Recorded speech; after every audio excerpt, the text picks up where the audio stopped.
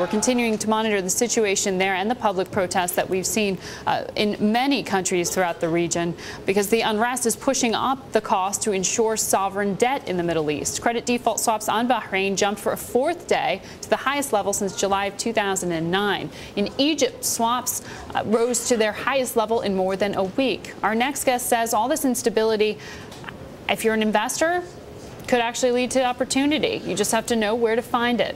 Hans Humes is the president of Greylock Capital Management, top emerging market hedge fund, and according to the data we keep here at Bloomberg, one of the best. So thank you very much, Hans, for coming in today. Um, and when we talk about the Middle East, we should say you have 400 million under management, about 21% of that allocated to the Middle East. So you've got exposure here. Absolutely. I mean, uh, the Middle East has been one of our biggest focuses since um, December 09. Uh, we've spent more and more time investigating the opportunities there.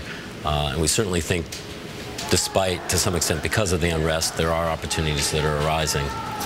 So where are you finding opportunities? Uh, in Bahrain, in Egypt, or are you staying away? Um, fair question. I, I, think that there's obviously a split between the commodity exporters and then the countries where there's sort of a surplus of labor. Okay. labor. Um, the places that we're focusing, for example, uh, uh, we have some investments in Abu Dhabi, uh, in Dubai, um, in Oman, MBPS is, uh, is prevent, uh, presents a very good uh, investment opportunity. I think we can see about a 15% return on the, the debt there compared to um, a 6.5% yield on the 2020s uh, in Egypt. Mm -hmm. um, the instability is certainly a cause for concern. Um, you may see an exodus of the large investors from the Middle East. Um, there's a different investor pool for uh, people in the UAE. There's a lot more local money. Places like Egypt, you really have the large investors, um, international investors who've allocated money there. If they start to exit, it's going to put pressure on the whole region.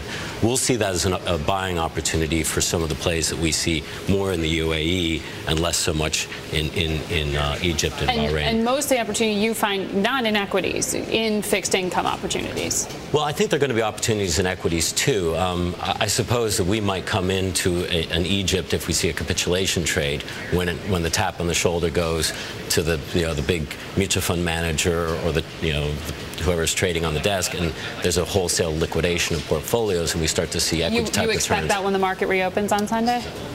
I, I, don't know. I certainly think that what's happening in Egypt is not a long-term solution. I think over the next six months, you, are going to see continued volatility. Um, mm -hmm. There's no question that the protests in the street, while they're um, on the surface, it appears to be about democracy. There's also an issue of uh, inflation um, and soft commodity prices rise, obviously, in food prices, and I think the people are agitating because there's under, you know, structural under, underemployment there.